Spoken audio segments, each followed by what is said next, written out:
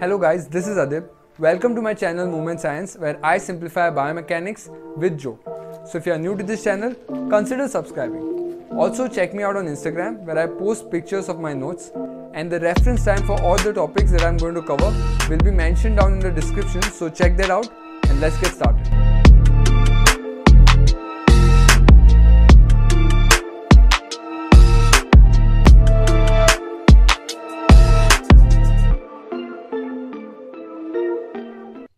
This video, we are going to talk about the proximal interphalangeal and distal interphalangeal joint.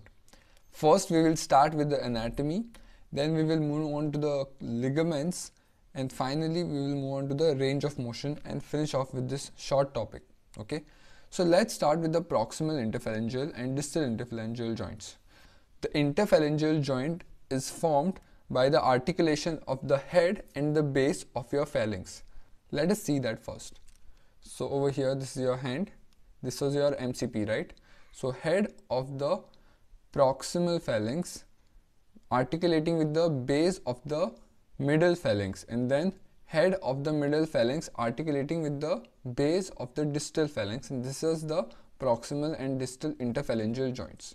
It is a true synovial hinge joint that means it will move only in one degree of freedom that is flexion and extension that is the range of motion it will come over here and other components that are present at the PIP joint are the joint capsule which will cover the whole joint.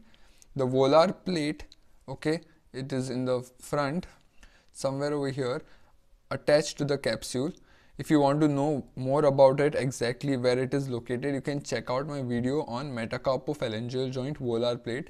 There I have discussed about the volar plate in detail and it's the same for your interphalangeal joints next is the collateral ligament that we will come to over here. So the articulation is concave and convex. That is basically the two concave facets okay? If you can see over here this these are the two concave facets that are present at the base and there it is separated by a ridge. And the other part okay? This is the first part that is the base and the head is like a pulley shape. See you can see this curvature. So that is your head. So that is how the articulation happens at both PIP and DIP and if you see posteriorly the articulation is not too long. So the range of motion is not too high. It's only till a certain extent. So the articulation posteriorly you can see over here the articulation at MCP was so much right? So the range of extension was a lot. But over here the articulation is not a lot so it can go only till a certain extent maybe neutral and then slightly more. So that's why because the articulation the surface of articulation is not present the range of motion for extension is really low. And the extension is way lesser in PIP compared to your DIP you can see over here passively if I try to take my hand into extension it's not going that much but over here at DIP it is going right? See? So DIP extension is much more compared to the PIP extension. And also about the plates. So the volar plates that are present right?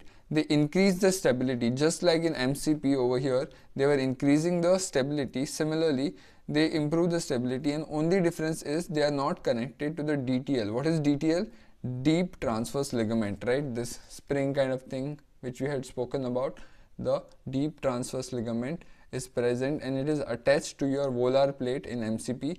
Here it is not happening. Next going on to the ligaments, there is the collateral ligament similar to what we saw in the MCP joint but over here it's not that well understood.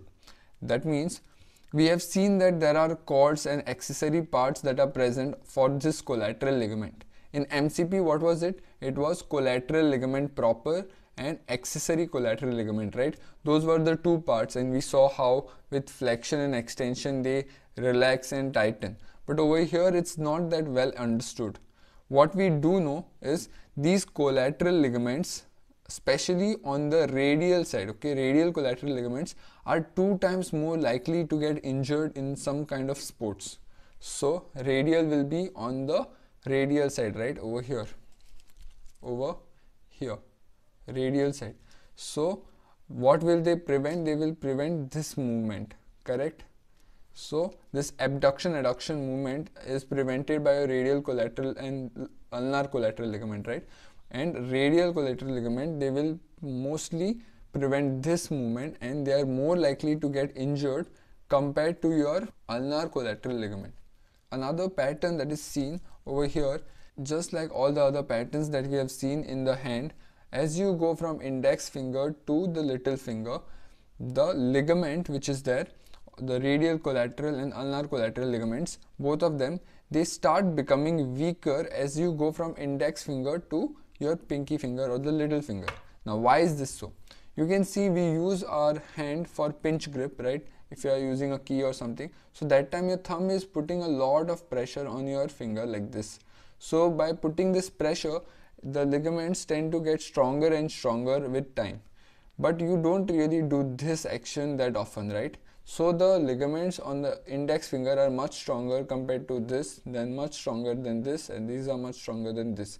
So as you go down to the ulnar side, the strength of the ligament, that is the collateral ligament, becomes lesser and lesser due to the functional demand that is seen.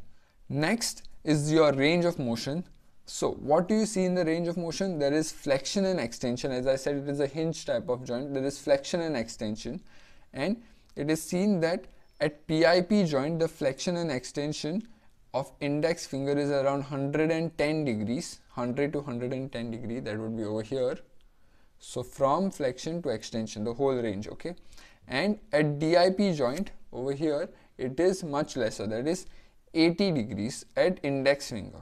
But again as you move from index finger to the little finger that is from radial to ulnar side the range of motion keeps increasing as you go from radial to ulnar. So thus, so this 110 degree that we were talking about at PIP joint becomes 135 degrees as you keep coming towards the little finger. See, there is so much range compared to this, correct? You can check it on yourself. And then DIP again, it is just this much over here, 80 degrees as you go 10 degree increase is there that is 90 degrees over here. So that is what is seen in your range of motion as you go from radial side to your ulnar side. This increase in range also facilitates opposition movement with thumb. So because this range is improved it can nicely oppose with the thumb over here compared to this correct? So this increase in range helps in opposition movement against thumb. It also does another thing or you can say another pattern that is seen is because of this increase in range of motion the strength that is produced on the ulnar side is much more. The grip strength is much more on the ulnar side compared to the radial side. So that's why if you have seen some instruments they are they are designed in such a way that you can hold them grasp them tightly from the ulnar side and the index finger side or the radial side will be slightly wider. So that is the pattern that is seen. The range of motion increases and also the grip strength increases.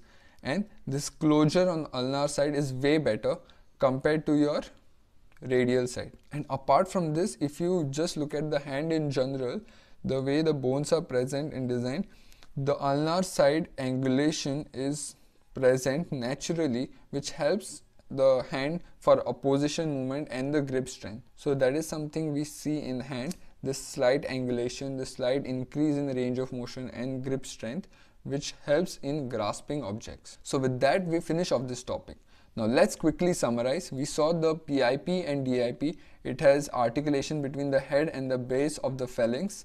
Its anatomy is very similar to the metacarpophalangeal joint. It has the volar plate just like the metacarpophalangeal joint. It has the collateral ligament over here just like the metacarpophalangeal joint and it has the capsule present around. So there are a lot of similarities but it is very different in a way that range of motion there is just flexion extension. There is no passive rotation or much of abduction adduction as seen in your metacarpophalangeal joints, correct? We saw that the radial collateral ligament are two times more likely to get injured in sports compared to the ulnar side ligament and as we go from radial to ulnar side the range of motion keeps improving the strength improves and also the strength of the ligaments improves along with the grip strength so with that we finish off this topic That's all for today guys. Thank you for watching. If you like my content, please like, share and subscribe to the channel. It will really help me out and thank you for watching.